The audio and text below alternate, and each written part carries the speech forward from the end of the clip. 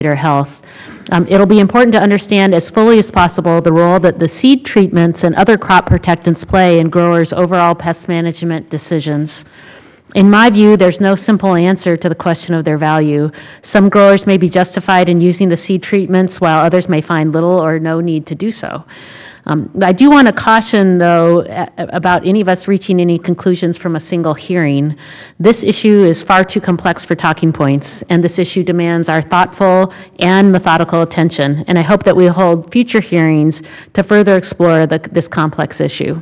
I hope that we'll get the opportunity to hear from beekeepers, fruit and vegetable growers, applied entomologists, and other experts in light of all the recent press focusing on the use of neonics, neonic seed treatments.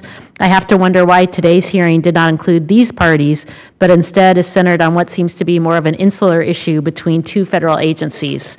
And while I respect our witnesses' expertise, I believe members of the subcommittee would have been better served by first hearing from those on the ground and in the field those who must make, on an individual basis, thoughtful decisions on the use of crop protection chemistries.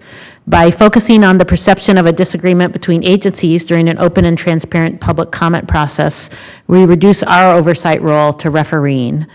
The testimony provided by constituent witnesses, the beekeepers and growers who we represent, can help inform the policy decisions we make with administrative agencies.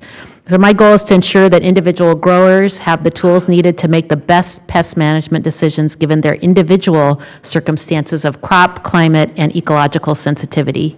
So, Mr. Chairman, I look forward to hearing from our witnesses today, and I encourage future hearings on this important issue. And I yield back. Uh,